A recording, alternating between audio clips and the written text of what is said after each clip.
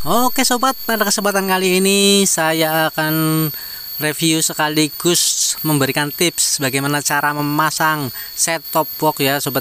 Oke ya sobat, langsung saja. Ini adalah set top box. Ini saya beli dua setengah ya, waktu itu masih murah lah ya. Oke, kemudian ini ada remote-nya. Remote-nya cukup unik seperti ini ya sobat ya. Tuh bisa dilihat sendiri. Oke, kemudian ini ada boxnya receivernya. Ini dia receiver dari step box tersebut. Kemudian ini ada baterainya. Kemudian ini ada colokannya yang nanti akan menghubungkan step box ke TV oke. Dan ini cara pemasangannya juga ada ya di sini tuh jadi dari TV, antena ke TV kemudian bisa ke HP bisa ke laptop bisa ke mana aja pokoknya lah ya. Oke kemudian selanjutnya saya akan membukanya seperti ini. Penampilannya ya sobat ya. E, ini beratnya enteng banget ya sobat ya. Enteng jadi nggak terlalu takut jatuh kalau ditaruh di mana saja ya. Dan segera langsung kita pasang yaitu kabel kuning ke kuning colokan merah ke merah colokan putih ke putih. Oke selanjutnya. Kemudian ini dari antena ya. Ini dari antena tuh lihat dari antena. Dan ini yang masuk ke TV oke ini yang ke TV ya. Saya cabut dulu. Saya cabut dulu yang ke TV nya akan saya eh, sambungkan ke receiver ya pokoknya ke box step box tersebut lah ya sobat ya.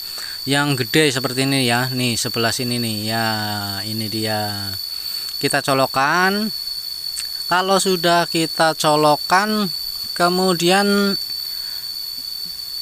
ini ya sobat.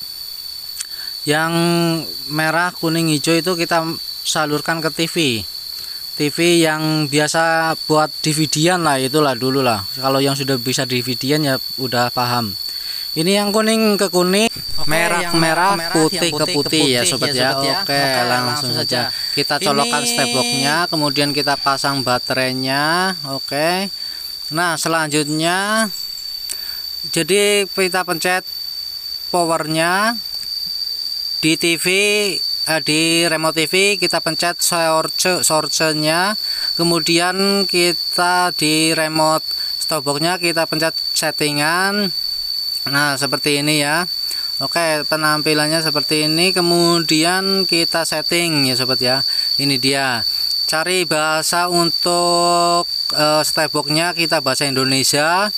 Kemudian untuk lokasinya kita Indonesia Nah ini ada buku petunjuknya kalau bingung tidak akan buka aja bukunya ya sobat ya.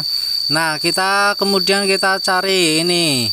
Untuk hanya FTA semua kemudian ini untuk saluran atau satelitnya kita DVB-C ya.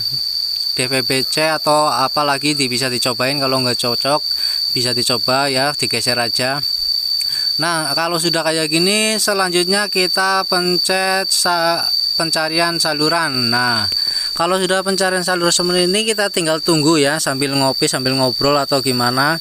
Dan juga sambil subscribe channel Dwi Siswanto ya biar semakin berkembang dan bermanfaat buat kita semua ya sobat ya. Dan bagi yang belum like silahkan like. Yang belum subscribe silahkan subscribe oke? okay? Nah sudah 100% akhirnya tuh lihat ya jelas banget jernih banget ya sobat ya. Jadi bisa nonton siaran langsung di sini ya piala dunia atau apa aja bisa. Oke lah ya. Ya semoga bermanfaat. Ini pengalaman saya saat beli step box dan saya pasang dan akhirnya sudah bisa ya. Oke sobat ya. Saya berbagi kepada kalian semua. Oke semoga bermanfaat. Saya akhiri sobat ya. Assalamualaikum warahmatullahi wabarakatuh